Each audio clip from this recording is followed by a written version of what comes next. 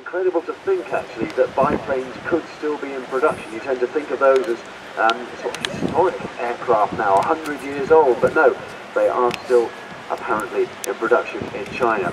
Not the fastest of aircraft though, I've been in this one and I'm told that if you have a really strong headwind, it will give you enough lift over the wings to keep you up, but will in fact blow you backwards. So you can actually go at a negative speed in one of these aeroplanes. That's why it's taking quite a while to reach us. It will mean, of course, that you have plenty of time to take photos of it. More about photos later on because there, there is a chance for you to get your pictures on the BBC website. And there she is, isn't that fantastic? Enormous aeroplane, big, big, big everything on great on the. Large much bigger than the Dragon Rapide that we saw just a moment ago, and an incredibly beefy undercarriage. This was designed immediately after the war to be a utility aeroplane, in particular to serve farms, either as a crop sprayer or for moving things around on the mighty Russian steppes. Uh, what you were saying earlier on, Ken, about this being the Ford Transit of the aviation world, this particular one, it's the one I'm thinking of, is actually lovely inside. If you can imagine inside this aeroplane, um, a lot of polished chrome, a lot of glass, drinks cabinets, plush furniture, and soft carpet. It is really, really comfortable inside. I've known a few Ford Transits like that in my time. I think we'll draw a discreet veil over that. Um, so what a wonderful noise that uh, that engine makes as uh, the Antonov pulls itself from left to right in front of the crowd here down on the seafront. The weather having sorted itself out, meaning we have the usual thousands of people along here. It's great that you're all here listening to us on 88.8 FM. BBC Radio Jersey. This is Chris Stone, together with Ken Ellis, editor of FlyPast magazine, bringing you the commentary. So what a wonderful slow aircraft this would be. If you're not in a hurry to get anywhere, if you're not in need of Concorde or anything like that to get somewhere quickly. Oh, now that is, there's an able lady. Look at that. She may look old, but she's very, very capable. Pulling right over the top there. Magnificent you see. You take a look at her now, for those of you that are down here on the bay, you can see barn door-like control surfaces on the back of the wings, which is giving it that manoeuvrability, and also on the front of the wings, what I would call Fowler flaps for very slow flying.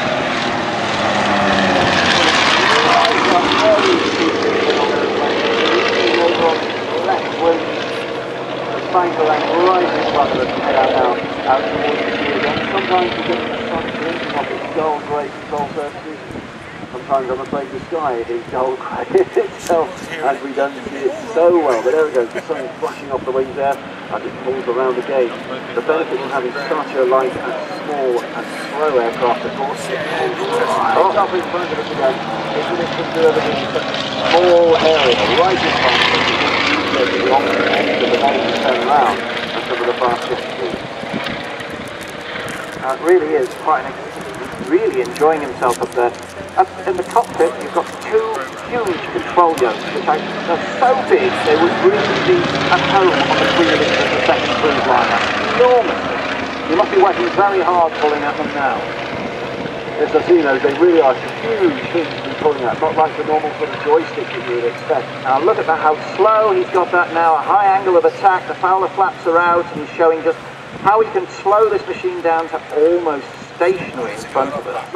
Roaring up into the sky there, uh, like an old man climbing up some stairs, that one. Um, beautiful aeroplane, nice and slow right in front of us. Hope you got some good photographs. Um, if you do get some great photographs, incidentally, hang on to them because we want to see them on the BBC Jersey website. I'm going to be speaking to Ryan from our BBC online service more about that. So all your good photographs, hang on to them because we want to see them.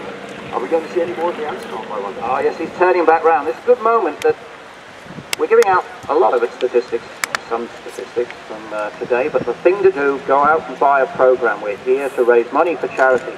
Go buy the program, learn all about the Antonov, five pounds, stop a seller and go buy. Invest in this, we are here for charity, we are here to do good work. As the Antonov comes back in for another intimate pass. Oh, right up high!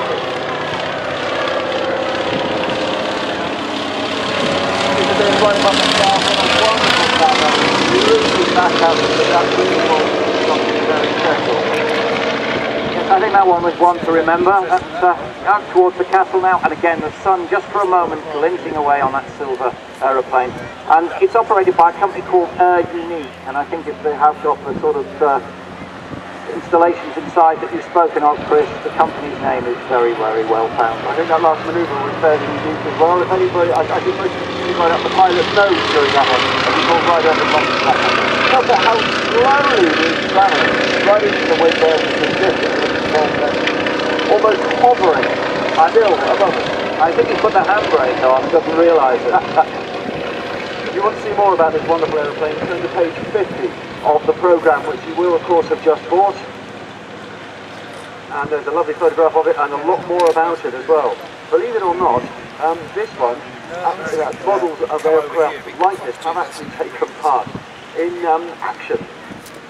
Oh yes, um, they're dropping mortar bombs and things like that, and firing rockets, uh, eventually chased off by helicopters. You can read the whole story of that in your programme on page 50. I don't think I'd want to be in a war situation in an aeroplane that was quite this slow though. No, that's right. There is a fantastic story of the clandestine warfare that went on in Southeast Asia where a CIA-operated uh, Huey helicopter from Air America, if you remember the film, actually managed to shoot down two of these. They were on a bombing mission to an American installation in Cambodia that classically did not exist.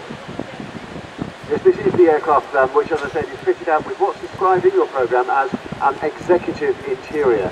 So inside that aeroplane being thrown around so nimbly today, plush round carpets, beautiful wooden polished walnut fittings, mirrors, there's a lovely drinks cabinet, not accessible to the pilot of course, and really plush leather armchairs. It's a wonderful aircraft And we're getting a commanding view of it. And you can see him waving, ladies and gentlemen. The pilot was waving at you there. I hope you're waving back.